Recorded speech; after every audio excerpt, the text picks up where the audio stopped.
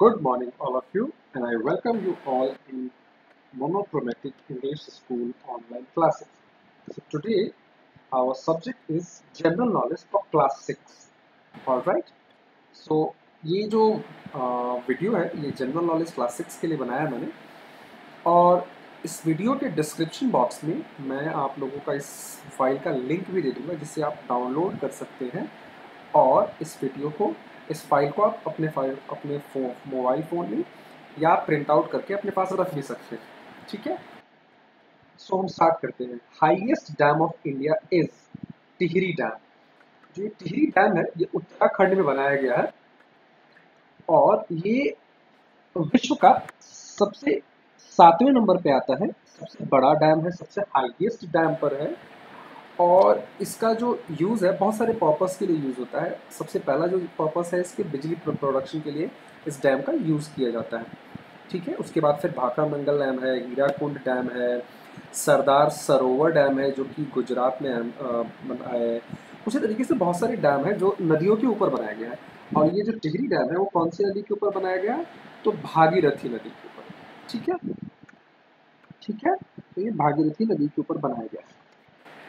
और जो दूसरा क्वेश्चन है the total distance around a gesture is called its perimeter कोई भी अगर हम एक शेप लेते हैं और उसको हम अगर बाहर बाहर से नापते हैं तो उसको हम पेरीमीटर कहते हैं, ठीक है? A figure which with eight sides is called octagon कोई भी ऐसा फिगर जिसका आठ साइड होता है, उसको हम ऑक्टेगन बोलते हैं।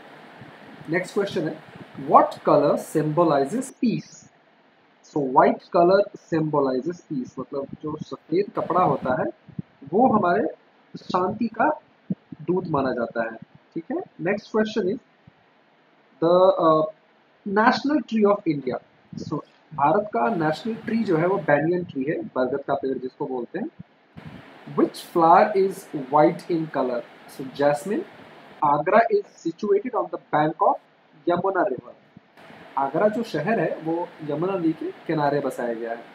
सिर्फ़ आगरा ही नहीं, दिल्ली भी यमुना नदी के किनारे पे ही बसा हुआ है। ठीक है? Baby of horse is called colt घोड़े के बच्चे को हम क्या बोलते हैं इंग्लिश में? कॉल्ट बोलते हैं। National animal of India tiger shape of an egg is oval shape होता है। हमेशा अंडे का जो शेप होता है, वो ओवल होता है। ठीक है?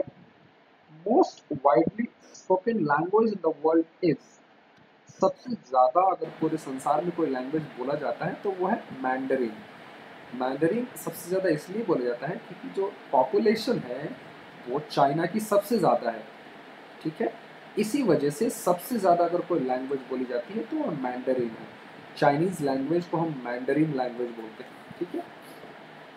नेम एनी रेप्टाइल कोई भी एक ऐसा रेप्टाइल जो रेंगता हो lizard is a reptile contract uh, sorry, not contract, it's cataract.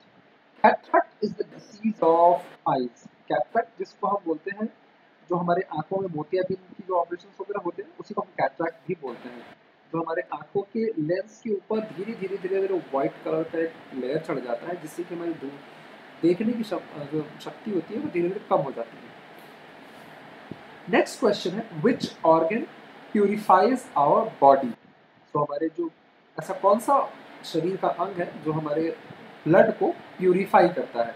So so, वो है किडनी ठीक है? ठीक है? तो जो आप देख रहे हैं कि किडनी हमारा ब्लड प्यूरिफायर की तरह काम करता है। तो उसका काम क्या होता है कि जितने भी जो हमारा लिवर होता है लिवर में बहुत सारे एंजाइम्स बनाए जाते हैं जो हमारे शरीर को बहुत फ़ायदेमंद के लिए होते हैं।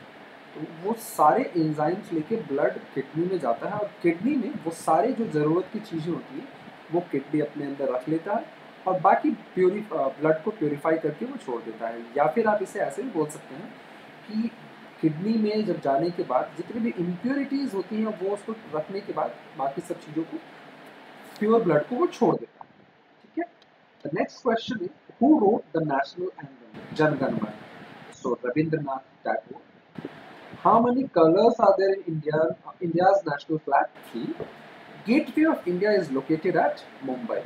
सो बहुत सारे बच्चों को ये कन्फ्यूज़न होता है कि इंडिया गेट और गेटवे ऑफ़ इंडिया ये दो अलग अलग मॉन्यूमेंट्स का नाम है और ये दोनों अलग अलग जगहों पे हैं सो गेटवे ऑफ़ इंडिया जो है वो दिल्ली में गेटवे ऑफ़ जो India I am sorry for that gateway of India जो है वो मुंबई में है और इंडिया गेट जो है वो दिल्ली में है ठीक है next question is who was Albert Einstein? So, Albert Einstein was a famous scientist.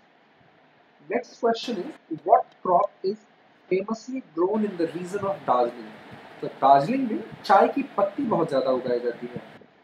Capital of Uttarakhand is Dehradun तो उत्तराखंड का जो कैपिटल है, वो कौन है? देहरादून है। ठीक है? तो मैं आपको डिस्क्रिप्शन बॉक्स में, जैसे मैंने आपको ऑलरेडी बताया, ये इसका, इस फ़ाइल का लिंक दे दूँगा। आप उसे वहाँ से डाउनलोड कर सकते हैं। और डाउनलोड करने के बाद आप इसे अपने फ़ाइल में रख भी सकते हैं और डाउनलोड करके आप प्रिंट आउट भी कर सकते हैं, ठीक है? और इसे याद करके आप हमें वीडियो बना के भेजें। नेक्स्ट अपने कॉपी में इस चीज़ को नोट भी कर लीजिएगा कि आपको मैंने बीस कॉमन जी के बताए हैं, आप उसे नोट भी कर thank you thank you for watching this video